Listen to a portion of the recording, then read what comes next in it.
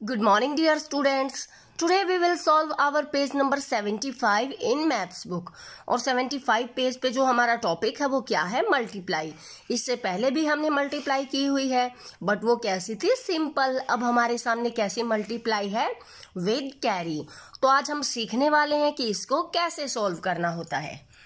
जो मल्टीप्लाई होती है बेटा उसका क्या मीनिंग होता है? टेबल्स इट मीन्स जो नंबर हमें दिए होते हैं मल्टीप्लाई के साथ उसको हमें ऊपर वाले नंबर्स से मल्टीप्लाई करना होता है विथ टेबल्स इसका मतलब है कि जो थ्री हमें दिया गया है, इसको पहले सिक्स से मल्टीप्लाई करो।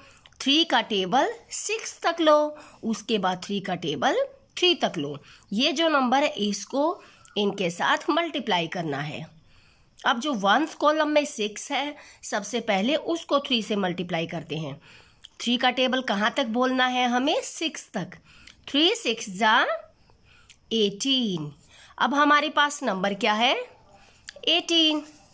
अब जो नंबर एटीन है, इसको हम वंस कॉलम में तो नहीं रख सकते, क्योंकि उसके आगे टेंस का भी कॉलम दिया हुआ है। एट हमारे पास वंस है, और वन क्या है? टेंस। तो एट को हम वंस कॉलम में रखेंगे,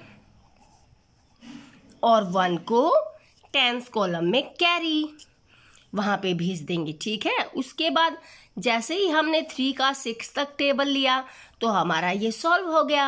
अब टेंस कॉलम में क्या है? थ्री अब थ्री को ही हमें किससे मल्टीप्लाई करना है? थ्री से। अब थ्री का टेबल थ्री तक लेंगे। थ्री थ्री ज़ा नाइन अब हमारे पास क्या नंबर आ गया? नाइन अब नाइन को तो हम लिख नहीं सकते, क्योंकि नाइन के ऊपर वन भी है। तो जो भी आपके पास यहाँ पे कैरी होता है, उसको हमें किसके साथ? जो आंसर आए उसके साथ प्लस करना होता है।